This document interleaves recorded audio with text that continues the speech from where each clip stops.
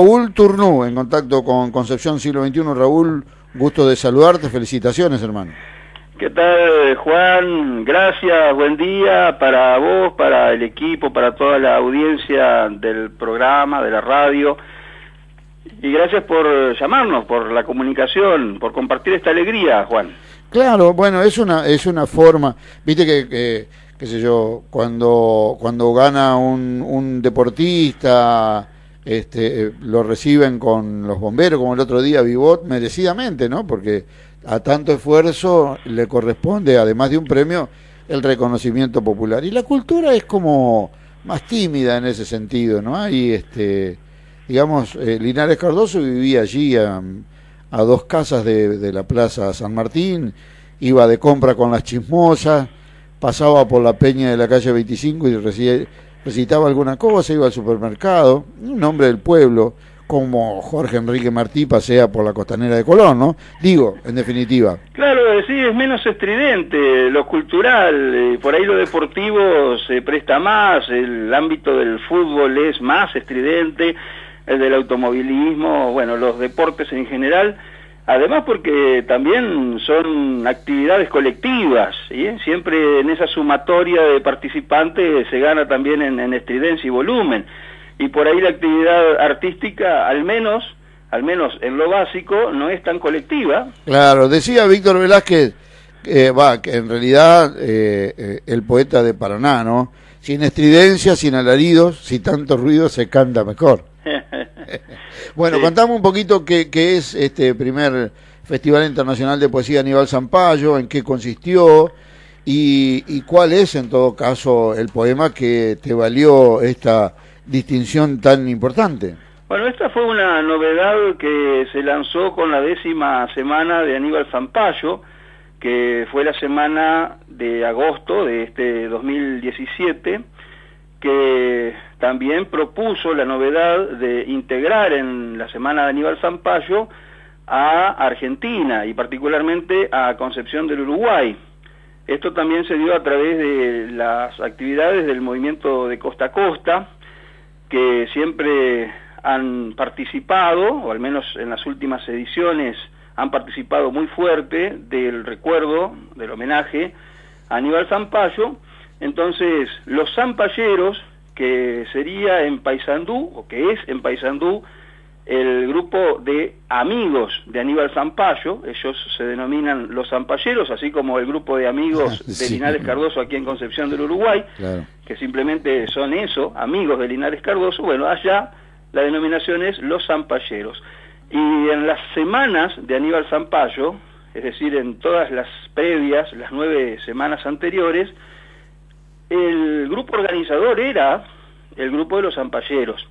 En esta décima semana se suma la Intendencia Municipal de Paysandú y como novedad plantea la organización de este primer concurso internacional de poesía Aníbal Zampayo. Eso se lanzó en el cierre de la semana, precisamente el 6 de agosto, cuando se clausuró la semana, la décima semana de Aníbal Zampayo, una novedad que se había mantenido en secreto, se había anticipado que iba a haber una sorpresa, pero no se sabía de qué se trataba, y fue justamente el lanzamiento de este primer concurso internacional de poesía Aníbal Zampayo.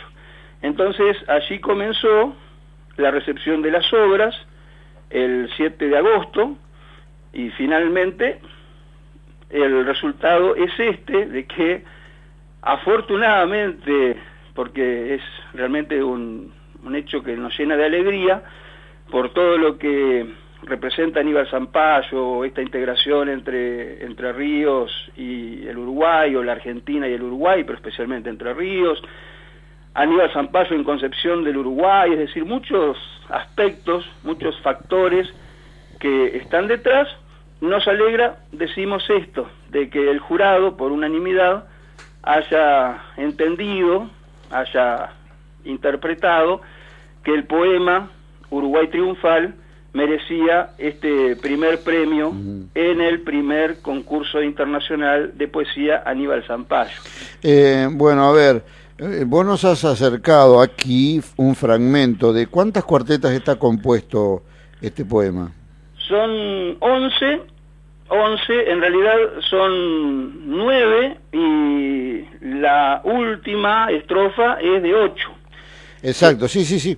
Eh, pero eh, es realmente muy, muy, muy lindo, muy lindo. Eh, además, tiene una, una inspiración, yo te diría, at- atemporal, en términos que eh, recuerda, eh, lo recuerda a Zampayo, al carácter heroico de Paysandú. Eh, me, llama mucho la atención que no hay metáfora en, en, el, en el poema, aunque, aunque tiene esos recursos, cuando dice rompen luz entre las cumbres, parte el suelo y fresco avanza. Realmente es una, es una definición exquisita la que has logrado.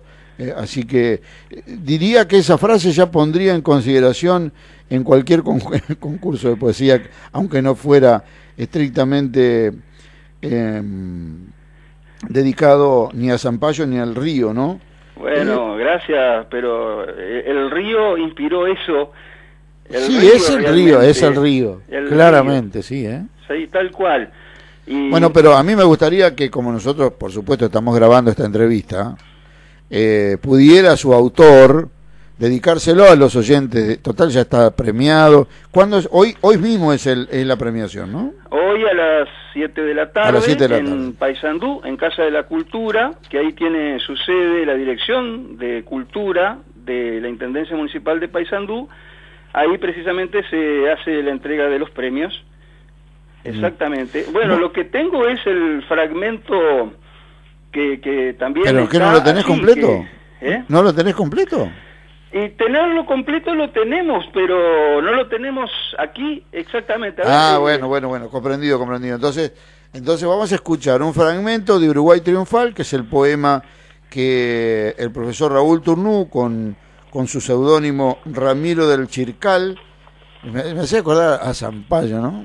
Este, Es que la idea es esa, la idea es esa, digamos, eh, como decía lo de lo de que el río ha inspirado puesto, esto, concretamente. si le hubieras puesto eh, Argüello del Chircal, estaría cerrado completo.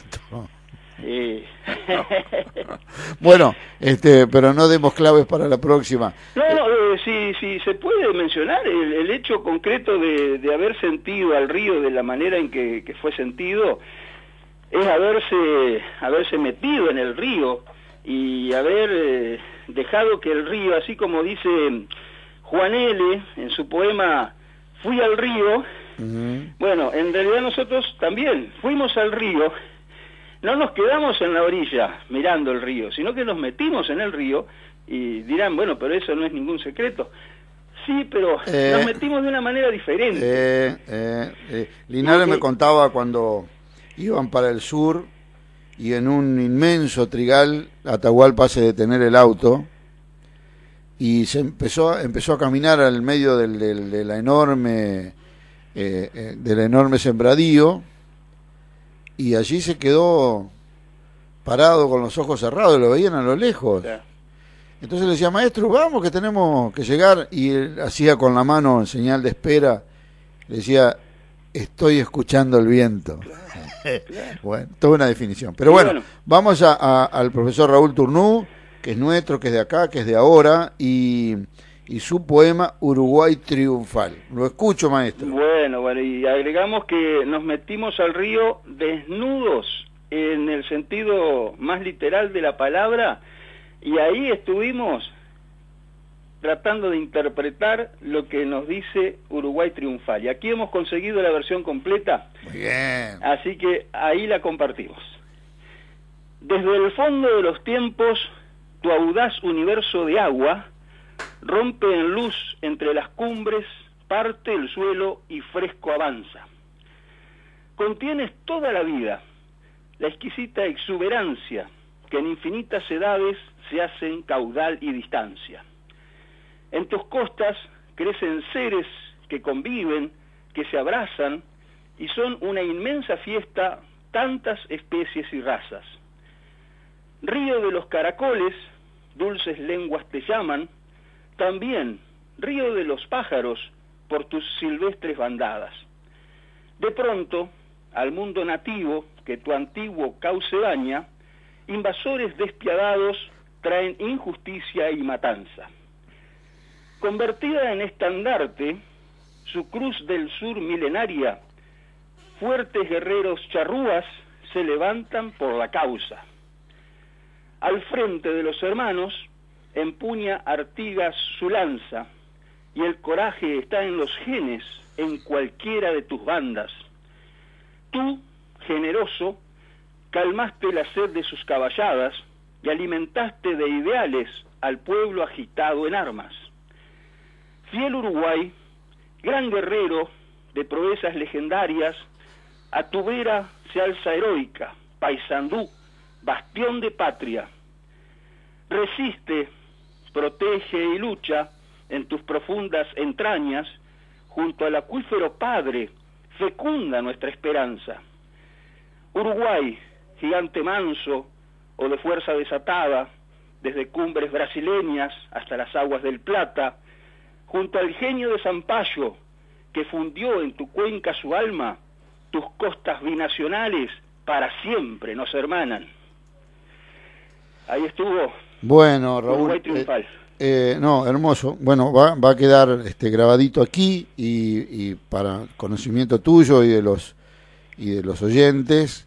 Dentro de. Luego, ni bien pasado el mediodía, va a estar la, la grabación de toda esta nota en la página de Concepción Siglo XXI para que la puedan disfrutar y disfrutar una y otra vez la profundidad de, de este poema Uruguay Triunfal que ojalá sea una premonición esto del Uruguay triunfal en el, en el hecho en el hecho filosófico que nos, que nos encuentra a diario y que ante tanta violencia podamos este, separar como separa el río, pero avanzar alegremente y fresco, como lo has descrito, eh, tan lindo, tan, tan, tan profundo y tan y de tanta identidad. Así que gracias por el poema y gracias por el tiempo, Raúl, y que esta tarde recibas con los honores que implica recibir un primer premio el afecto de toda la gente del Uruguay que sabemos que la da a mano llena. Gracias Juan y ahí estará toda la gente de Concepción del Uruguay, sabemos, y así llevaremos, ¿no? Eso es lo que irá con nosotros, todo el aprecio de Concepción del Uruguay por Aníbal Zampayo, en la presencia circunstancial para recibir este premio en Paysandú. Gracias. Gran abrazo. abrazo. Gran abrazo. Eh, Raúl Turnú, eh, el hombre de Concepción del Uruguay, que ha sido merecedor, y, es así, merecedor, de un primer premio, del primer certamen de poesía internacional zampallero, podríamos decir, de Aníbal Zampayo. Ha pasado también por Concepción siglo